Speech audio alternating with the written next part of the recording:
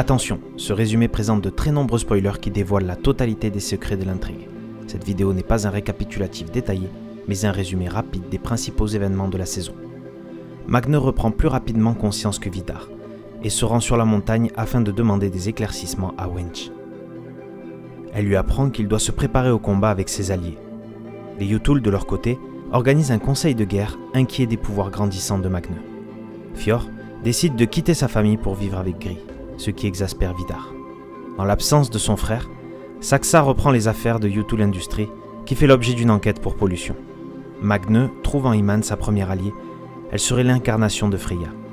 Loritz se trouve très différent de son père et finit par apprendre qu'il est en fait le fils de Vidar. Ce dernier souhaite tirer profit de cette révélation et invite Loritz chez les Yutul. Au cours d'une cérémonie, il fait de Loritz un géant. Le frère de Magne découvre alors qu'il est l'incarnation de Loki, dieu de la malice et de la discorde dans la mythologie nordique. Ran découvre que c'est Wench qui aide Magne et décide d'éliminer la vieille dame. Juste avant de mourir, elle parvient à transmettre son collier magique à l'homme borgne en fauteuil roulant qui se trouve alors habité par l'esprit d'Odin, le père de toutes choses. Loritz manipule Vidar pour obtenir les clés de Yutulheim et pénètre avec Magne dans la maison afin de tenter de forger Mjolnir dans la flamme du salon, pensant qu'il s'agit de la flamme éternelle. Ils sont surpris par Vidar qui traite Loritz de trait. Magne, Loritz et Iman rencontrent Wotan qui écarte Loritz car il n'est pas digne de confiance selon lui. Loritz vole alors le sang de Wotan et se l'injecte afin de devenir mi-dieu, mi-géant. Vidar tend un piège à Loritz afin de le tuer, mais Magne intervient et, dans le combat, Vidar perd la vie. Magne est traumatisé à l'idée d'avoir ôté la vie à un être vivant.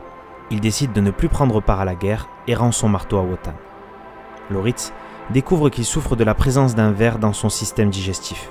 À l'hôpital, il donne en quelque sorte naissance au serpent monde qu'il emporte en cachette dans sa chambre. Magne tente par tous les moyens de renoncer à ses pouvoirs. Fjord décide de venger son père et reprend le flambeau des affaires familiales à la place de Saxa. Les prières de Magne ont porté leurs fruits, tous ses pouvoirs ont disparu. Quand il apprend que Fjord a licencié sa mère, Magne tente de s'en prendre à lui, mais sans ses pouvoirs, il est facilement battu par les fils de Yutul. Magne demande alors à Wotan de lui rendre ses pouvoirs, mais le vieil homme refuse. Au sein des Yutul, Ran se range du côté de Fjord. Saxa se retrouve seul et demande l'aide de Loritz, qui fait partie de la famille. Elle lui remet la clé de Yutulheim et beaucoup d'argent.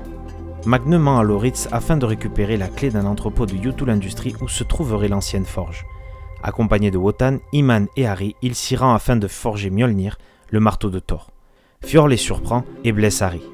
Magne parvient à s'enfuir mais les autres se font attraper. Iman et Alvor sont virés de l'hôpital. Afin de mettre fin à l'enquête contre Yutul Industries, Fjord menace de délocaliser l'entreprise en Asie. Magne parvient à réveiller Mjolnir, ce qui entraîne le retour de ses pouvoirs. Fjord et Ran punissent Saxa pour avoir aidé Loritz et partent pour tuer le frère de Magne. Mais ce dernier leur explique qu'il est en possession de la seule chose qui peut vaincre Magne. Il apparaît justement pour sauver son frère, mais les Yutul s'enfuient. Loritz lâche le serpent monde dans les eaux d'Eda, sous le regard de Ran et Fjord.